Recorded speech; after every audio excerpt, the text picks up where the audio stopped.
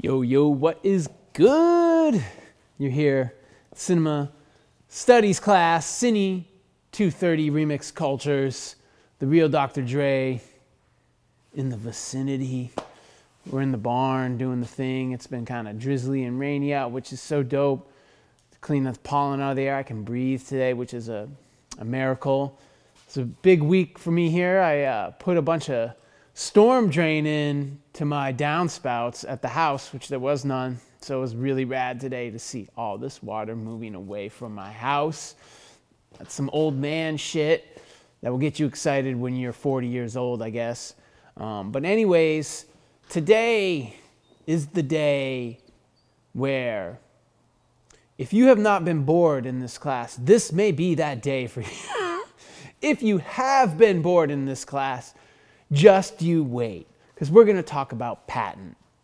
Now, listen, patent may be actually incredibly exciting to you. It may be something that actually is very important to you. So I don't want to uh, belittle it and demean it and talk it down because um, it's very important. This is something that I am not as super interested in, but man, it is essential. As we will see, it is probably the most important form of intellectual property uh, that, that exists because it governs drugs, it governs food, it governs technology. Uh, up until you know, eight years ago, it governed um, genetics and DNA.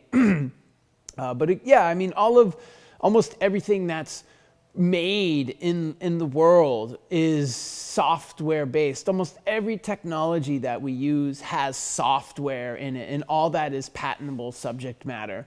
Um, but literally, the food that we eat is patentable. So, yeah, so we'll talk uh, about patent today, and you may be bored as hell. Um, you may have already been bored as hell.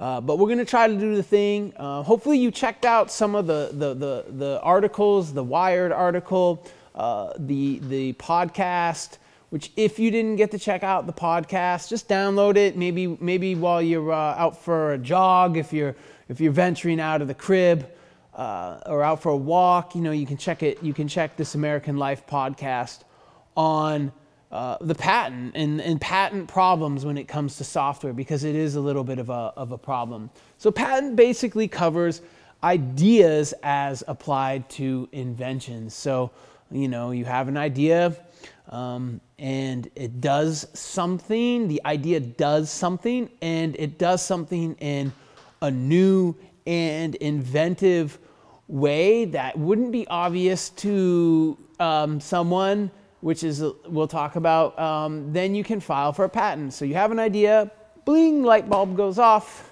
you draw it, and you submit it to the United States Patent and Trademark Office, and boop, you have a little patent filed. And then you have a patent. And as we'll learn, the patent basically does not allow you to actually execute your idea in a sellable product. It only allows you to uh, prevent others from executing the idea in a, in a patentable, patentable project, uh, patentable technology. And I'll talk a little bit more about that in a second. But I want to ask you, what do you think this is? And you hear that creaking, that is a tree that is hanging over my barn. That's going to get its ass chainsawed down pretty soon here, but it's, it's a little bit of a weird, uh, a weird saw down for me. Um, but anyways, Maybe when I do it, I'll include a video of me going nuts with the, the saw. Anyways, but what is this? now, you're probably saying, oh, it looks like a mailbox. Um, it looks like an oven, or it looks like a safe, or whatever. This is actually what's called a Franklin stove. A Franklin stove is what we call a wood stove, and this is one of, uh, you know, this is a drawing for a, a Franklin stove. Now, that name comes from someone you probably recognize, Benjamin Franklin, who was an inventor. He was a, a capitalist in early America. He was an author. Uh, he was a pirate, um, not necessarily sailing the seas and looting and stealing booty, but he was, uh, you know, he ran the largest printing presses in the United States of America that pirated works from uh, European authors, and it made him very wealthy. Anyways, uh, one of the things that he invented was the Franklin stove, which was basically imagine being in Philadelphia in the 1700s. It's cold as hell. At the time, there were not technologies necessarily that allowed you to heat a house. If you know what a fireplace does, it heats a vicinity, right? It heats, it heats a vicinity in a, in a home, but it actually isn't, um, you know, technologically able to spread the heat throughout the domicile. Uh, so it's inefficient. He figured out a way to have an efficient wood burning stove that he called the Franklin stove. Now, at the time, this, this type of idea would be totally 100% patentable.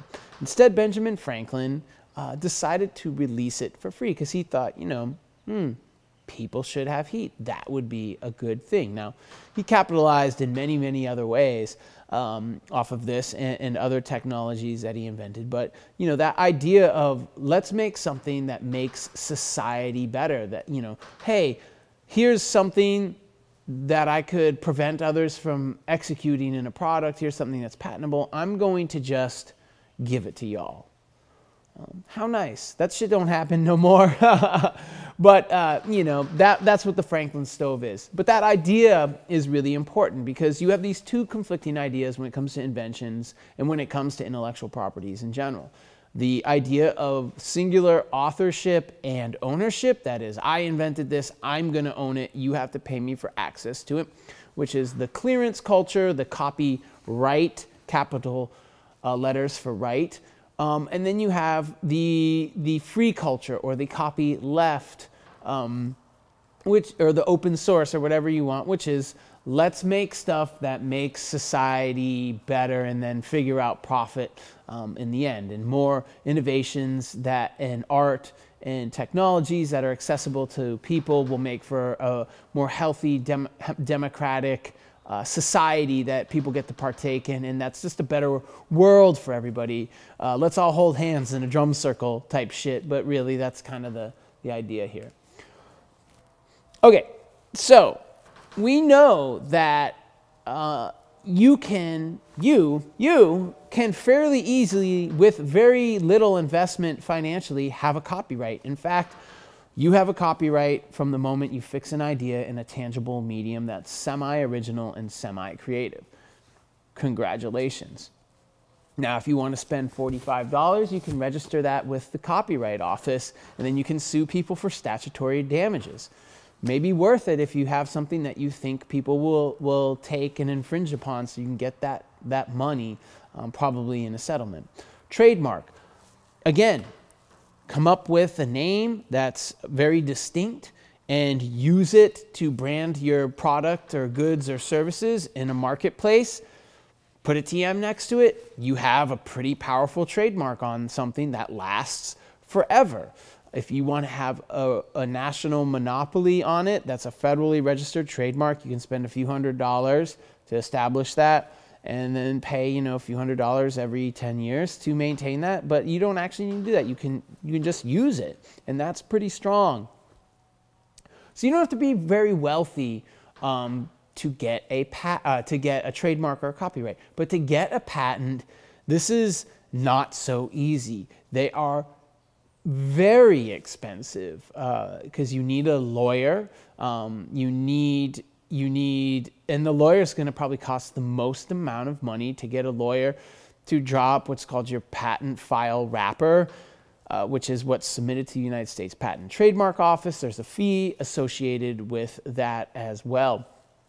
And then, if you do happen to even get the patent, which most pat many patents are actually denied, then you have to figure out how to monetize that. You have to figure out, you know, how can you make money off of this patented idea? Can you execute it in a product without infringing on other people's patents? Or if you want to execute it in a product, will it infringe on other people's patents? And you have to figure out a cross licensing agreement or a licensing pool or something so that you can execute your product. Beyond that, uh, do you have access to manufacturing, to mass manufacturing, to distribution? Do you have connections to retail? So that brings up the element of most independent inventors often will sell their ideas or their patents to large uh, corporations. If you watch the Shark Tank, you kind of see, you know, again how that kind of uh, manifests in the real, real, uh, the real world. So patenting is the product of the upper class. You have to have you have to have money. And the history of patents and inventions are largely the history of, you know, independent inventors showing ideas to people like Thomas Edison, who then take their ideas and patent them, or uh, you know, who buy their ideas and execute them and patent them and get credited as as inventor of those things.